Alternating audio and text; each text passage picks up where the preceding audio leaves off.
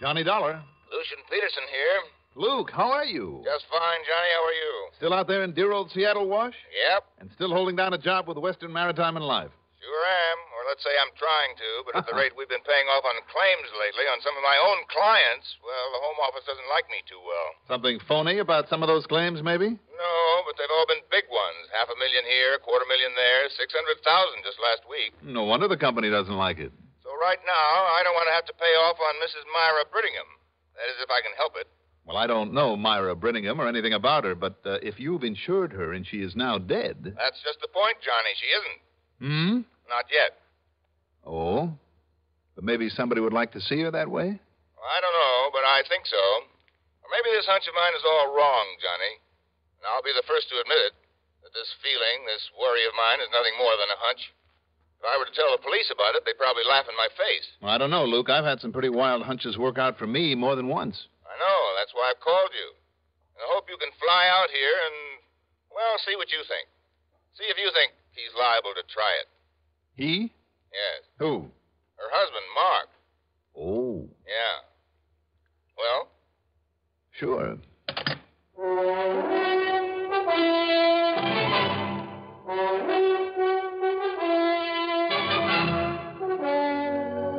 CBS Radio Network brings you Mandel Kramer in the exciting adventures of the man with the action packed expense account, America's fabulous freelance insurance investigator. Yours truly, Johnny Dollar.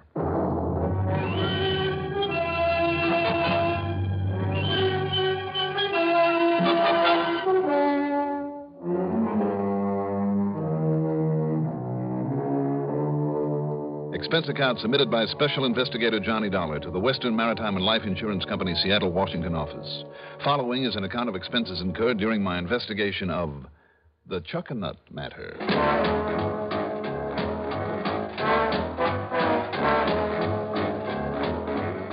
Expense account item one, six dollars for a cab out to Bradley Field. Item two, 186.70 plane fare. It was after 11 p.m. by the time we set down at Seattle Tacoma International, so item three is five and a quarter for a cab into the Benjamin Franklin, where I proceeded to get me a good night's sleep. Then, after a hearty breakfast the next morning, I dropped in on Lucian Peterson. now, Johnny, you're staying at the Ben Franklin? That's right. And that's where I'll have them deliver a rental car for you. You can repack your bags, toss them in, be on your way. Oh? To where, Luke? The little town of Chuckanut. Where is that? Well, you know where Bellingham is. Yeah, it's about 85 miles north of here. And Chuckanut's five, six, seven miles this side of Bellingham. Oh. And that's where Mr. and Mrs. Brittingham live, hmm? Well, just this side of it, off Chuckanut Drive, is uh, Lane. a narrow, badly paved road that'll take you up into the mountains. Be real careful of that road, Johnny. And if it's wet when you get there, be doubly, triply careful. Why do you say that, Luke? That dinky little road has more twists and kinks and switchbacks than you ever saw in your life. Miss one of the turns, and you'll end up either flying off into space or smashing into the face of a cliff. Well, I remember that. But tell me, uh, what's going on between the Brittinghams? Well, to begin with, they're both heavily insured. As a matter of fact, five hundred thousand bucks worth apiece. Wow. Yes, and they're insured in each other's favor. I see. Mark Brittingham is about 35, Johnny, and all his life he's been nothing but a playboy and a sportsman. Living first on the money his father gave him, and now on the insurance left him by his last wife. Oh, then Myra's number two. Myra's number four. And, Johnny, I'm as sure as I am that I'm sitting here that the only reason Mark married her is because she had one of those incurable diseases, only a few months to live type of thing. I see. Yes. Then modern medical science, not long ago, suddenly, unexpectedly, found a complete cure for it. Mm-hmm. Tell me, Luke, did his former wife die of some incurable disease? Well, that's what the police and company investigator and the court decided. Johnny, I've always suspected that he somehow helped the old biddy on her way. Now you think he wants to do the same for Myra, so he can collect on her insurance. hmm? I do. You have any concrete evidence, Luke? Well, it's no secret that Mark and Myra haven't been getting along lately. Things have been pretty tense between them. Why? Well, Myra's five or six years older than he is. Still a very attractive woman, Johnny, believe me. But she's older than he is. Mm-hmm. Also, that woman has more expensive taste than anyone I've ever known. In other words, instead of dying off like he thought she would and leaving him a lot of money, all she does is spend it for him. I see. So instead of get- having plenty of dough for the racetracks and nightclubs and parties and so on, he's having to reef in his sales. And the only way he can ever get together a sizable hunk again is by having her dead. Well, you think he'd go so far as to kill her? If he can get away with it, yes. Because evidence to the contrary notwithstanding, Johnny, I still think that's what happened to the last one. Well, if he should, I mean, he'd never collect the insurance. If we could prove it. Well, yes. Well, what am I supposed to do, Luke? Go up there and scare him out of it? Why not? That's a new one. I know. As I told you on the phone, this is really all just a hunch on my part. But I think it has a pretty solid basis. Look, suppose you go up there, just see him on the pretense you're interested in buying that property. Oh, is it for sale? Well, he wants to sell it to raise some of that green stuff he loves so much, and that he's rapidly running out of. To spend a couple of hours talking about their house and property. Now, listen, Johnny. And then just let it slip out who and what you really are. What? Sure. If that doesn't convince him he's under suspicion, make him change his mind about trying anything, I'll eat my hat. Will you do it? Okay, Luke. As long as you're paying the bill. Good. But I still don't think that you have any real. Well, we'll see.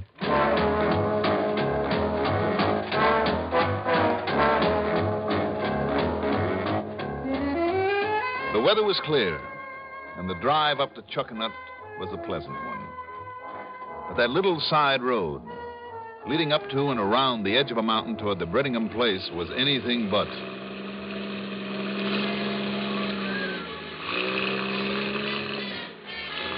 Couple of times on an outside turn on that tortuous, narrow asphalt, I could catch a glimpse of the house, far above and nestled in among the trees. But most of the time, I was too busy watching the road. Until suddenly, as I rounded a particularly sharp, tight outside turn, whoop, Hey, watch it there! directly in front of me was a police car. In front of that, smashed head on into the face of a cliff, was one of the new compacts, the whole front end of it bashed in. Well, now, mister, who might you be? How you, Lieutenant? Only it's Sergeant, Police Sergeant Bill Foreman. Oh, Sergeant. Well, My name's Johnny Dollar. what? The insurance investigator? That's right. Well, I'll say this. It sure beats me how you found out so quickly. Found out about what? That stiff in there in that car that smashed up. Stiff. Who, Sergeant? One of those crazy Brittinghams that have been tearing at each other's throats for so long now that one of them just plain had to go. Which one, Sergeant? Not much question about that, Dollar. Go take a look. All right.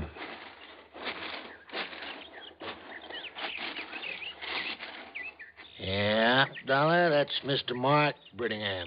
What's left of him. Mr. Brittingham. Hey, you sound surprised.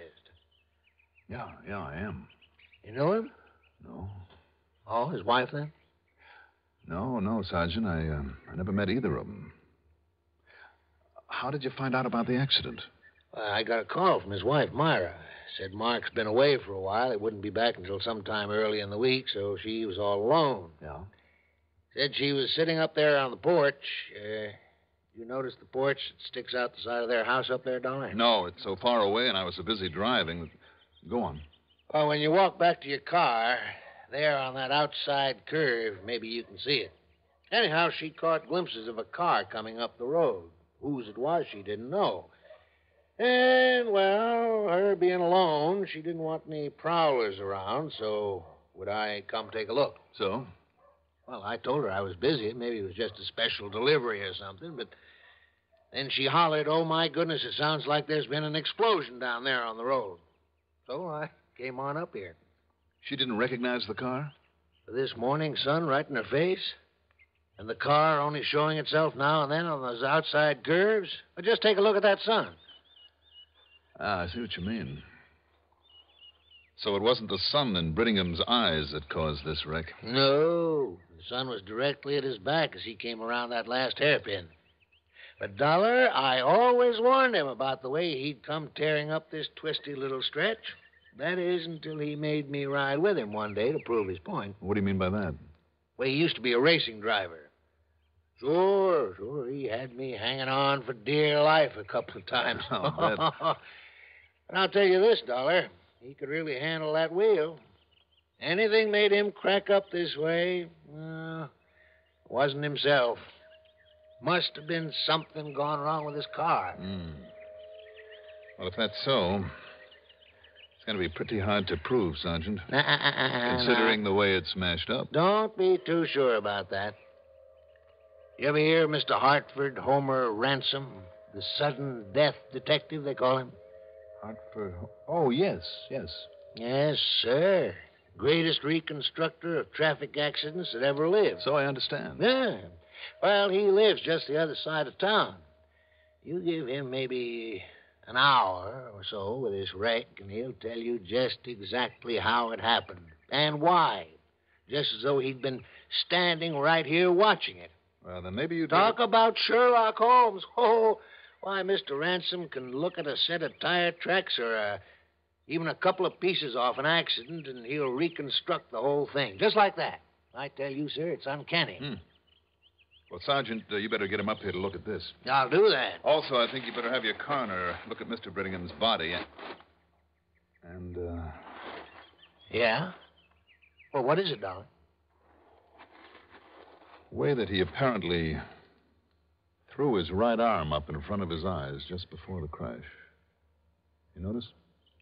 Yeah. Well, sure, in the hopes of padding himself when he hit the windshield. Former racing driver?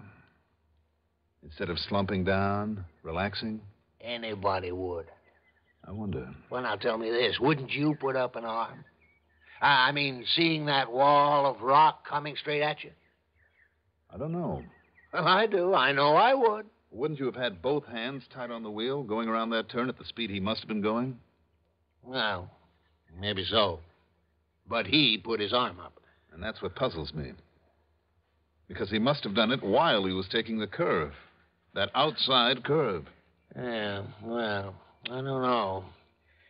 But now we better get up there to the house and give Myra Brittingham the bad news. I'll tell you what, Sergeant. Yeah? Let me go up there and tell her. Meantime, you get this man Ransom on the job and have a medico do an examination of the body. And I mean a thorough Now, now, now, now, wait a minute. You think maybe this wasn't just an accident, Dollar? I didn't say that. But that's what you meant, isn't it? Let's wait and see. hmm?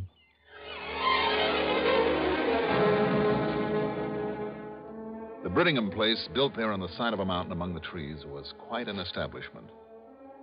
New, modern, and very expensive. As for Mrs. Brittingham, Myra, well, Lucian had said she was about 40. She didn't look it. She was five foot three or four, brunette, with an almost olive complexion, very dark eyes, and the kind of natural beauty that you seldom see in a figure to go with it. I introduced myself and made no bones about my connection with the insurance company. Before I could tell her why I was there, she led me out onto the little porch where, looking out against the sun, I could see occasional spots on the road I'd just driven up. And then, calmly and with a self control that I hadn't expected, Was it Mark, Mr. Dollar? I'm afraid so. He's dead, isn't he? Yes. Well, I knew it would happen sometime. I warned him over and over about the way he drove so madly up and down that crooked little road, in spite of the fact he'd driven expensive racing cars when he was younger. I knew he'd kill himself sooner or later, and now he has. I'm sorry, Mrs. Brittingham. Are you? I'm not. What did you say? It rather settles things, doesn't it? Does it? We uh, hadn't been getting along, Mark and I, for quite some time. And I know it was partly my fault. Why do you say that? Because of money, Mr. Dollar. You see, I married him for his money because I thought that for the rest of my life he'd be able to give me all the things I'd always wanted. Yes. Oh, it was all great fun with him while he still had it. The big parties night after night, the racetracks all over the country, theaters, nightclubs. I even put up with his silly hunting and fishing up here. But when the money began to run out and we had to sell the big home in Bellingham and the cars and get rid of the servants and settle down in this little place, I've hated this place, Mr. Dollar. And I hated him. And we fought like spoiled, hysterical children. Hmm. But you see, when he knew the money was getting low, well, If he had any gumption, he'd have got himself a job of some kind. For once, he'd have had to work for a living. But instead, he only got moody. He drank a lot, acted very strangely, began looking at me in a peculiar, frightening kind of a way. Oh? And then, because of something he said one night, I began to fear him, what he might do. Go on, Mrs. Brittingham. Oh, I, uh, I know, Mr. Dollar. He was upset that night because we'd had another argument, a terrible argument. And he'd had too much to drink. But he started laughing to himself, quietly chuckling to himself. And then he, uh, well, he tried to say it lightly, as though he might be joking, but he said, Yes? he said, wouldn't it be nice for him if I should die, like his wife before me had? And Then he could get a little fun out of life again on my insurance money. It frightened me, Mr. Dollar, terribly. I can't say I blame you. And then these long trips and leaving me alone like this. Trips to where, do you know? No. Oh, I've wondered if he hasn't been out looking for someone to take my place. Or just planning some way to, uh, Well, it's all over now. well, I'd lie to you if I said I was sorry. You know, of course, that you stand to collect some half million dollars of insurance. Yes, I know. And I'll use it to uh, get as far away from here as I can. Can you blame me? I want to talk further with you, Mrs. Brittingham. Of course. First, though, I'd better check out the police report on this accident, purely as a formality. Of course. So, if you don't mind. I'll be here, Mr. Dollar.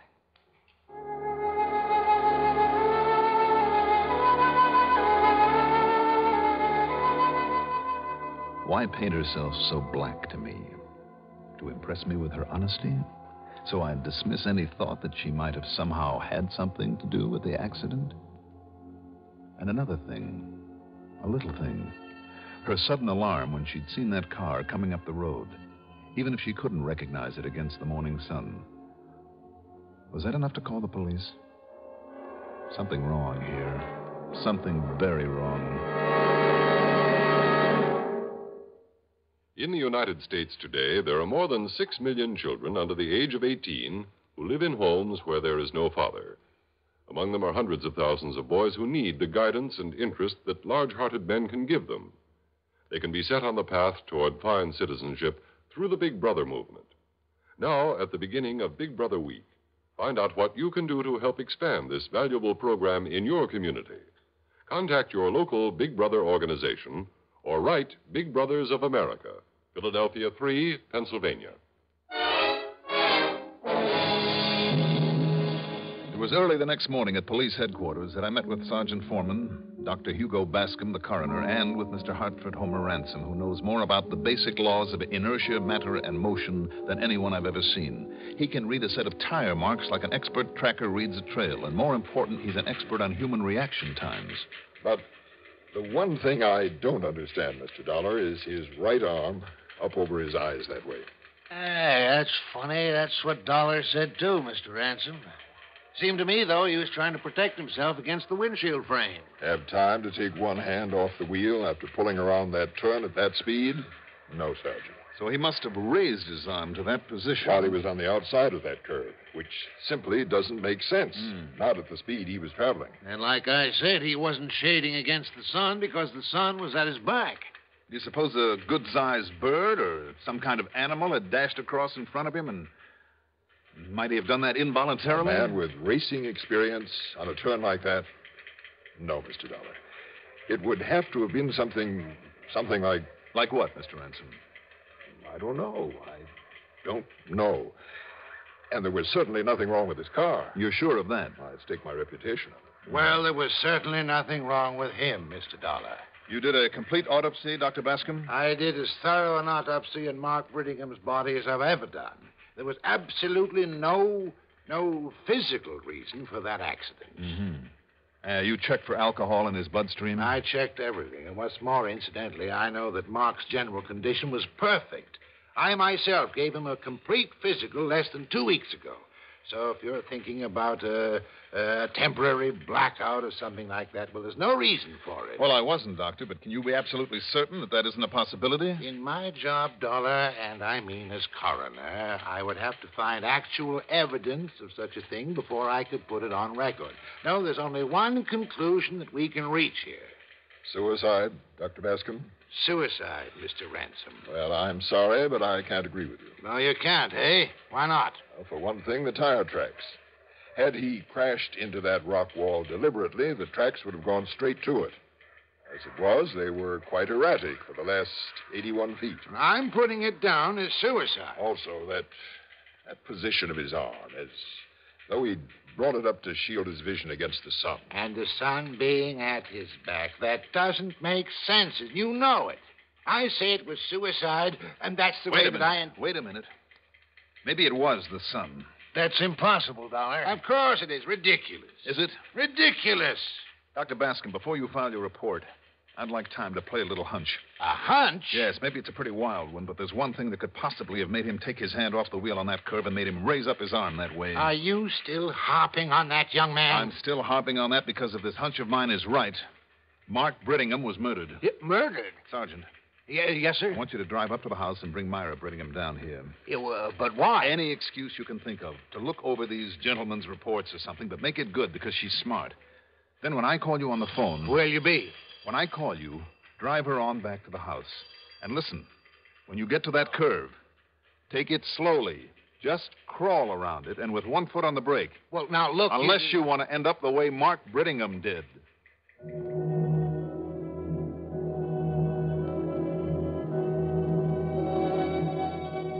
When the sergeant got her away from there, I went over that house top to bottom. Sure, there were mirrors on the bedroom walls, big, clumsy ones, a couple of hand mirrors, too, on her dressing table.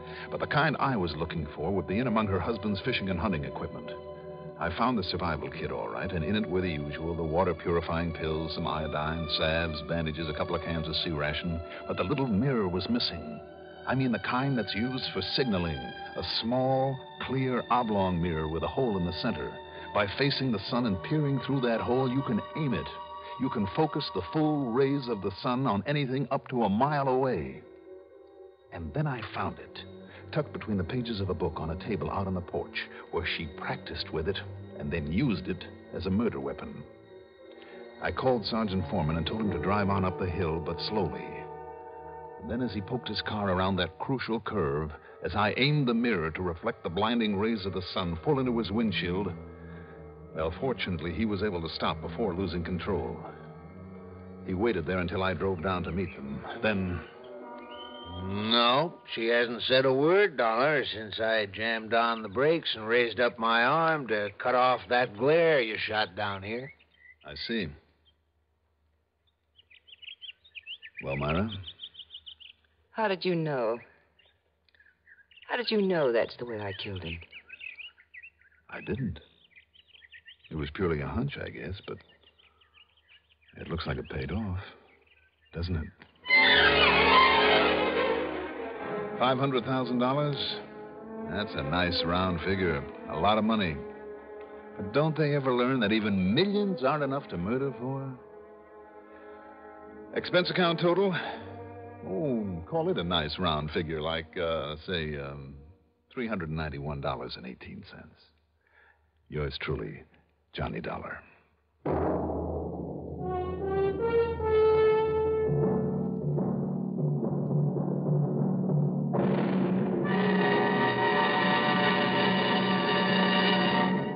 Now, here is our star to tell you about next week's story. Next week, I'll be back with another exciting adventure that'll really surprise you. Join us, won't you? Yours truly, Johnny Dollar.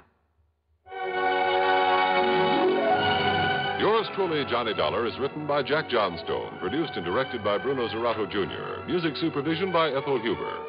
Johnny Dollar is played by Mandel Kramer. Also featured in our cast were Joan Ellison as Myra Brittingham, Robert Dryden as Sergeant Bill Foreman, Richard Kendrick as Luke Peterson, Bernard Lenrow as Hartford Homer Ransom, and Ivor Francis as Dr. Hugo Bascom. Be sure to join us next week, same time, same station, for another exciting story of Yours truly, Johnny Dollar.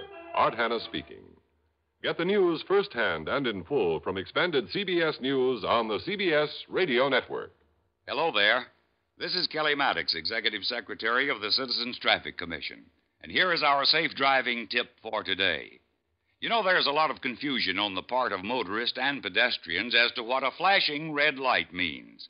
A flashing red light, when used as a traffic signal, means that the motorist must come to a complete stop before entering an intersection and after stopping proceed only when it is determined that the coast is clear. This same rule applies to pedestrians. The Citizens Traffic Commission would like to impress on all motorists that they must stop their car when the traffic signal shows a flashing red light. A flashing yellow light means that you are to slow your car to a safe and reasonable speed and proceed with caution. All traffic signal lights have a meaning, and the motorist must remember that traffic signals are placed at intersections to control conflicting movements of traffic.